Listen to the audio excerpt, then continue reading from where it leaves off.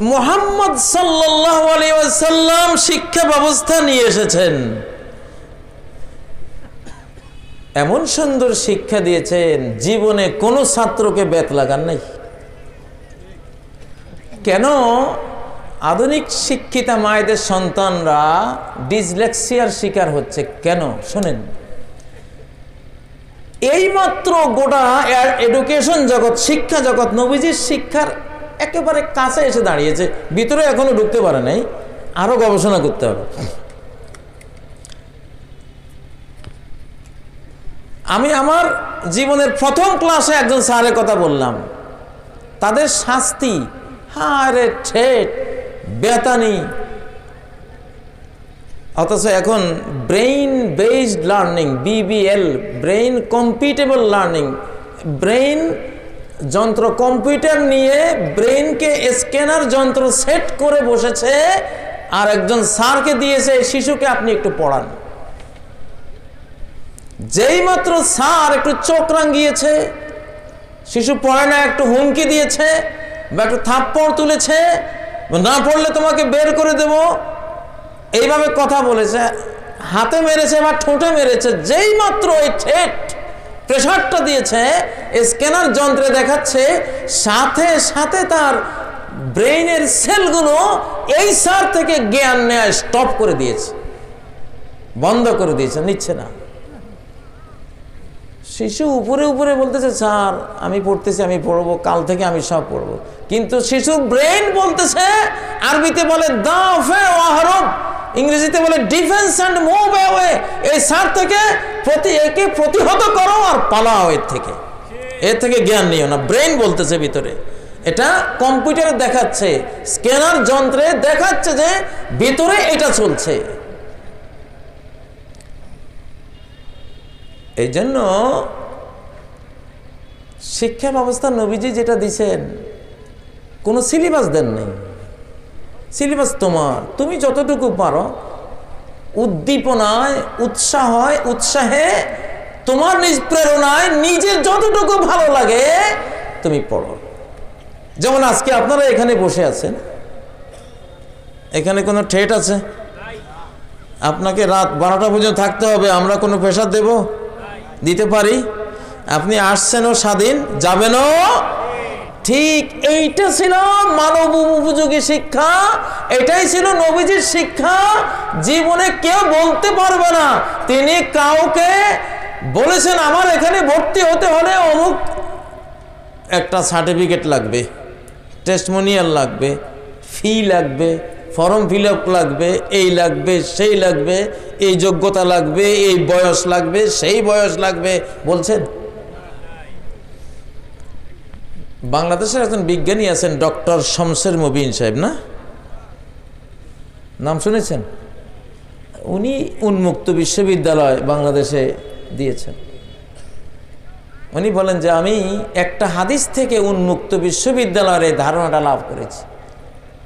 যে নবীজি বলেছেন, এলেম অর্জন করো দোলনা থেকে কবর পর্যন্ত। তার মানে বয়স আশি বছর হলেও আপনি বিশ্ববিদ্যালয়ের ছাত্র হতে পারেন, ভর্তি হতে পারেন। সোহান আল্লাহ নবীজির এক ছাত্রের বয়স ছিল আড়াইশো বছর। কয়শো বছর? ওনার বয়স চল্লিশ ওস্তাদের বয়স চল্লিশ, ছাত্রের বয়স কত?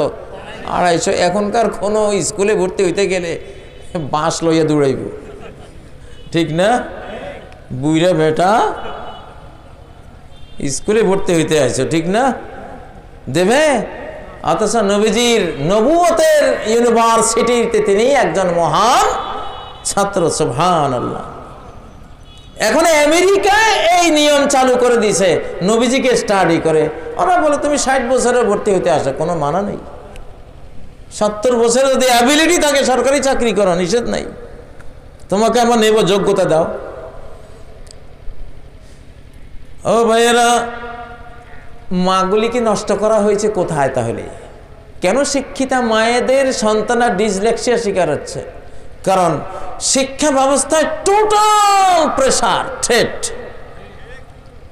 একটা মেয়ে ম্যাথমেটিক্স কি বুঝে?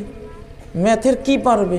এলজাবরা বীজগণিত, মহিলারা আমি কত মহিলা দেখছি পাঁচ টাকা নোট চিনে না। তাই না? সরলা, সহজা, অবলা নারী, তারে দিয়ে দিছে অ্যাস্ট্রোনমি পড়ার জন্য, তারে দিয়ে দিছে ইঞ্জিনিয়ারিং পড়ার জন্য, তাকে দিয়ে দিছে ম্যাথ কেমিস্ট্রি পড়ার জন্য। এটা তো পুরুষের বিদ্যা। মহিলাকে মহিলার বিদ্যা শিখাও। হ্যাঁ ওইসব বিদ্যাও সে শিখতে পারবে, তার মন চাইলে উচ্চশিক্ষিতা নিজে নিজে যদি কোনো ঠেট ছাড়া প্রেশার ছাড়া যদি সে শিখে, শিখতে পারে।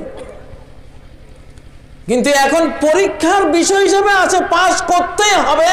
পাশ না করলে স্বামী তালাক দিয়ে দেবে। পাশ না করলে কেউ বিয়ের প্রস্তাব করে যখন শুনবে, ফেল, পাত্র ফিরে যাবে। ঠেট কিনা? প্রেশার কিনা এটা? প্রেশার?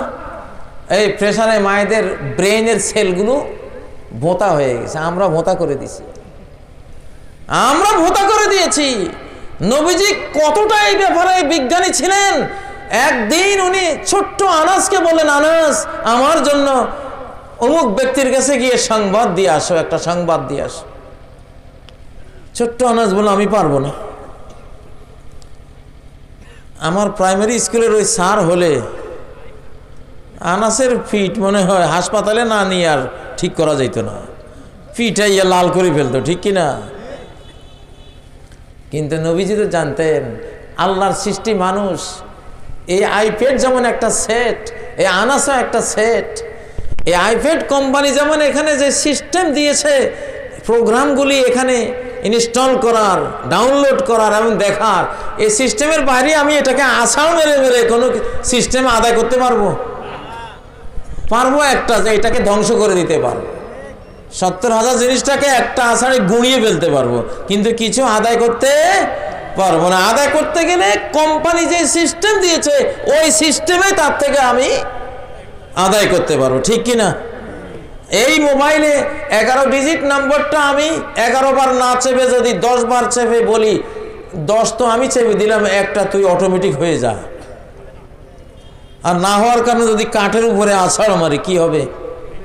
সে ধ্বংস হয়ে যাবে, কিন্তু আমার উদ্দেশ্য সফল হবে না। ঠিক একজাক্ট মানুষও এইরকম। এটা নবীজি বুঝতেন, আল্লাহ আকবর, তার শিক্ষার মধ্যে এটা আছে। আনাজকে কিছুই বললেন না। আজকের উস্তাদ হলে বলতো, বেয়াদব গোস্তাক অশালীন, এটা সেটা তো নাম কেটে দেব, উস্তাদের সাথে বেয়াদবি। ঠিক না? উস্তাদের কথা শুনোস নাই। নবীজি কিছুই বললেন না। না বলে ওই ব্যক্তিকে খবর দেওয়ার জন্য নবী সাল্লাহ সাল্লাম নিজেই রওনা দিলেন। রাস্তার মাঝখানে গিয়ে দেখেন ছোট্ট আনাজ টুকটুক করে হেঁটে সেও যাচ্ছে। ওই ব্যক্তির কাছে সে যাচ্ছে। নবীজি পিছন দিয়ে কেমন উস্তাদ, পিছন দিয়ে গিয়ে তার চোখে চোখ টিপি ধরলেন, মজাক করলেন। কিছুক্ষণ পরে বলতেছেন, যে আনাস তুমি না বলেছ, তুমি যাবা না? কই আর আসল আল্লাহ আপনি বলার পরে আমি না যাব, সেই আনাস আমি।